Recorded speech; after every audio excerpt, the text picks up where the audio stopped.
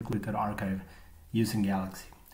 The tool we'll be using today was designed to cater for researchers that want to upload SARS-CoV-2 sequences to the ENA, but it can also be used to submit other species sequences to the ENA. We will go over two examples. The first one will involve inputting the metadata using the tool's interactive metadata forms, and the second example will involve inputting the metadata using a pre-built template. There are two requirements for using the ENA upload tool. First, you need to be registered at ENA's Webin submission platform. If you do not have credentials yet, you can go to the registration page and sign up. I included the link to this in the description of the video. The second requirement is that you are registered with usegalaxy.eu. The first thing we need to do is to include our Webin credentials into the Galaxy user information. And for this, we go to the top menu, select User and Preferences, and then select Manage Information. Once there, you can scroll down until you find the ENA Webin account details box. And there, you can put your Webin number and your password, and then save. And now the tool can submit sequences to the ENA. For the first example in this tutorial, we will submit a single sequence to the ENA and generate the metadata interactively using the tool. We begin by creating a new history.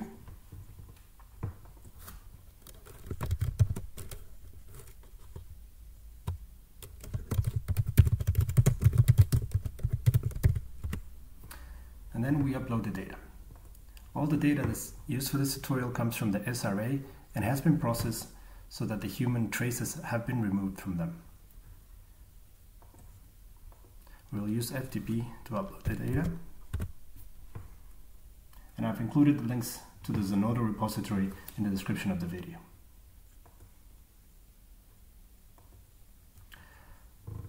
While the file loads, we can start looking at the actual tool that we'll be using. It's under the Send Data menu. It's called the ENA Upload tool. So the first thing we see is we have two options to execute, either add new data modify metadata. We'll leave it to add new data.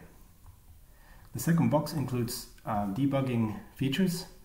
The first one is an option to submit to the ENA test server and we will say yes to that because otherwise your reads and your raw data will be submitted to the public server and everyone will be able to see it.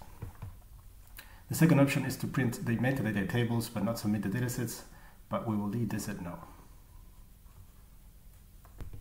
Next, we come to the metadata section where we are asked if we like to submit pre-generated table files or to interactively generate the metadata. For this exercise, we will choose to interactively generate the metadata. And now we get to the metadata input forms.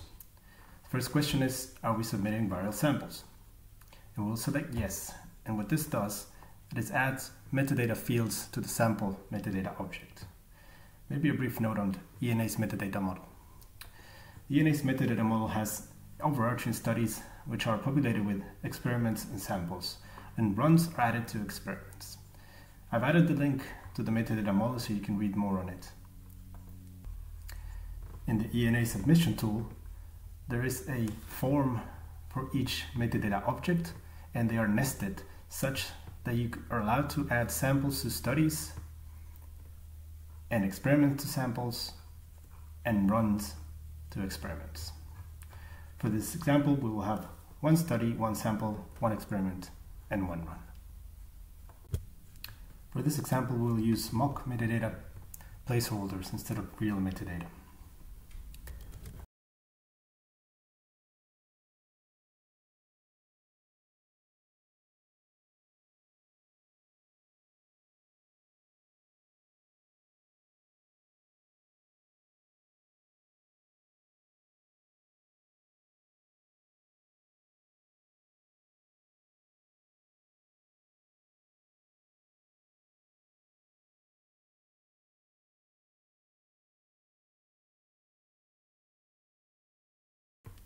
The last metadata object is the runs and this links the actual data files to the rest of the metadata.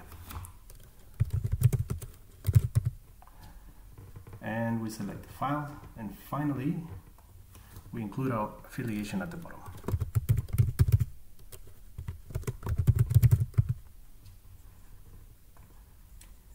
We click on execute and our data metadata is submitted to the ENA. There are four tables that are created, one for each metadata object and a submission metadata ticket or receipt that can be later used to input the metadata to other tools.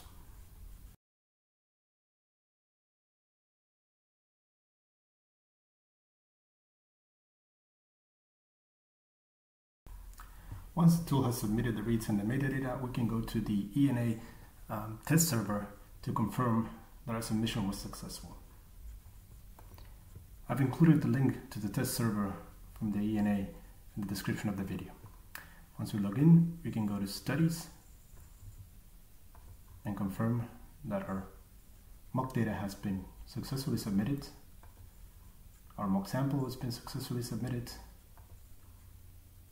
and our mock experiment and run have been successfully submitted.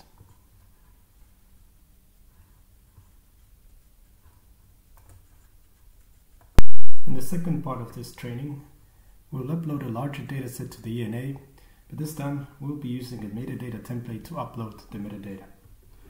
First, we're creating a new history to hold our data and metadata.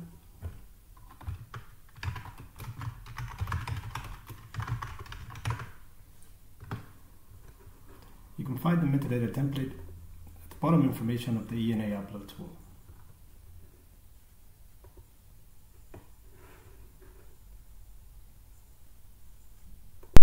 You can then download the template and fill it with your own metadata.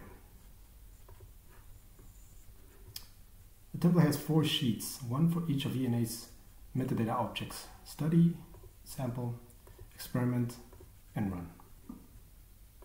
It also has field descriptions indicating what is expected at that field and whether that field is mandatory or optional. And lastly, it has control vocabulary fields. For the sake of time, we will not fill this metadata template during the training, but instead we will upload a pre-filled template into Galaxy.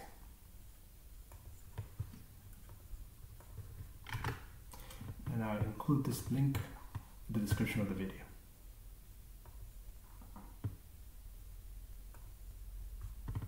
We can now have a quick look at the metadata.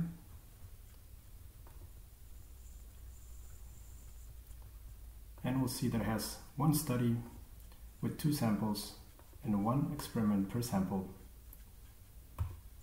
and one run per experiment, each containing a set of paired end data files. Next, we can upload these paired end sequencing files Again, use an FTP links that are included in the description of the video.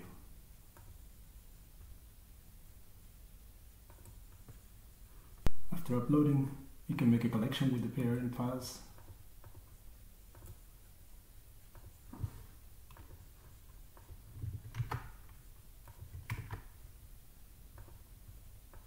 And give it a name.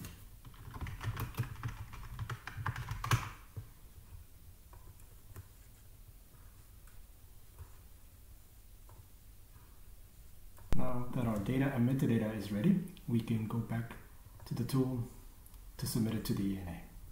We'll leave the action to add new data and again submit to the ENA test server. We will leave the user-generated metadata tables and select the Excel file with the filled metadata template. We will check yes for a viral sample and select pair collection for our data inputs. Last thing to do is fill your affiliation center and submit to the ENA. Finally, we can go to the ENA test server to confirm that our submission was successful.